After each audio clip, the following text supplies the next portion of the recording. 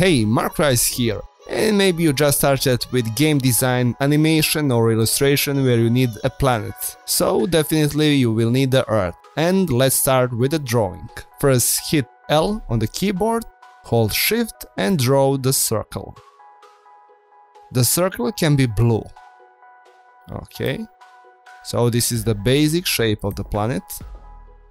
Now I will start with the green parts. This will be the land.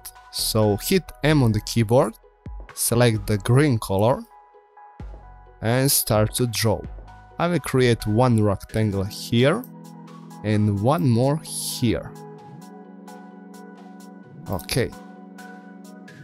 Now I want to connect these rectangles, but before that I need to create rounded corners. So select the shape, go to the tool panel, select direct selection tool and make the rounded corners. I will do this with this shape as well. Beautiful. Now I will hit M on the keyboard and create one more rectangle here. Now I will select this rectangle together with the rounded rectangles, so hold shift and select the shapes. Go to Pathfinder and hit Unite. Okay, beautiful. It will be much better if I create rounded corners here as well. So select direct selection tool, select this point here, hold shift, then select this point this point and this point as well. Pick up the white point and start to move. Okay. Now I will repeat the process one more time. So hit M on the keyboard, create one rectangle here, one here, then create rounded corners.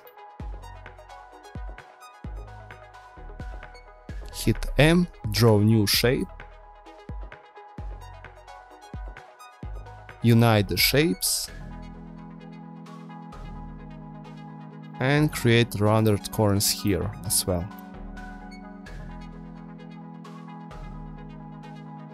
Here I will create a small rectangle. One more here. A big one will be here and here as well. Select direct selection tool and create rounded corners.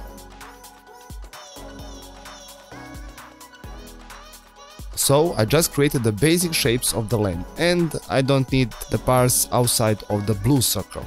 So I will copy the blue circle with Ctrl C, Ctrl F command then I will select the copied circle together with this shape here. This one. This one as well. And this one. Then go to Pathfinder and use Divide. Ungroup the shapes. And delete everything except the shapes inside of the blue circle. Okay, cool and the land will look better with more details. So hit M and draw the rectangle here. It can be dark green. Here I can create one more rectangle and a few rectangles on the rest of the land.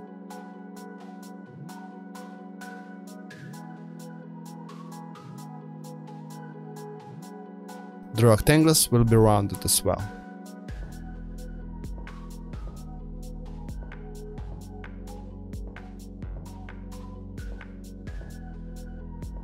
And I need a few details on the blue part of the planet as well. So hit M and draw one rectangle here. It will be light blue. One more here. make these shapes rounded create one rectangle here select the shapes and use unite in the pathfinder select the direct selection tool then these four corners and make them round Okay. Hit M again. Draw one rectangle here. One, it can be here. And one here. The corners need be rounded as well.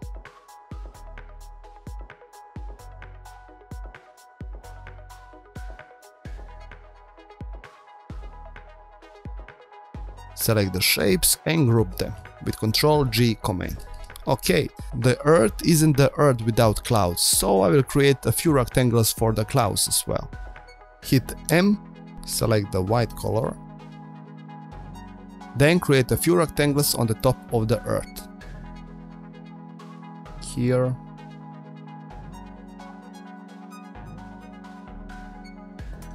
Try to create random positions.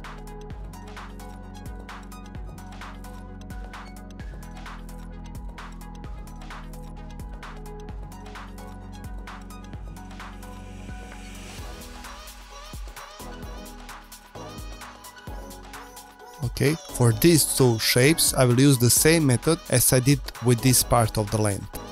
So hit M, draw one rectangle here and one more will be here.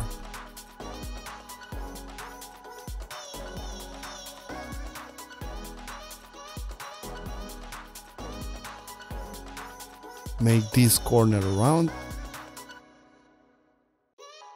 and these corners as well. I will repeat the process here.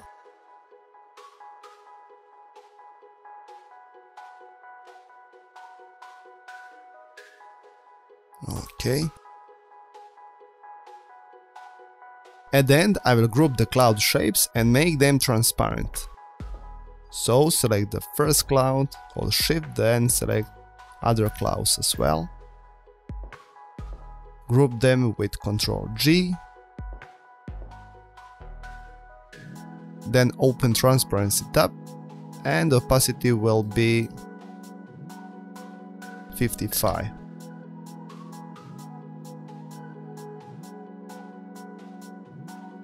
Okay, the Earth is finished, but it can be even better if I create atmosphere around the planet. So copy the blue circle with Ctrl C then paste the circle with Ctrl plus F.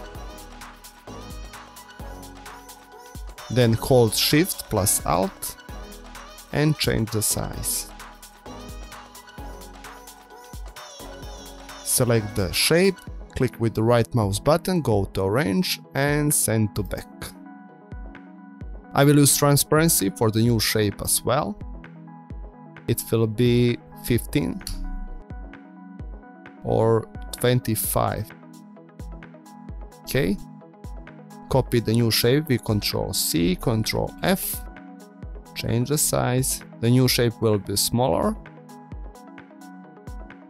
And here I can use the gradient. So go to the gradient tab and select the gradient. Okay.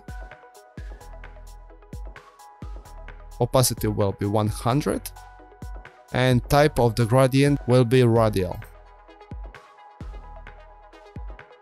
Okay, cool. So use a dark color for the middle of the shape and a light color for the outside of the shape. Then select the dark color and the opacity for the dark color will be zero. Okay.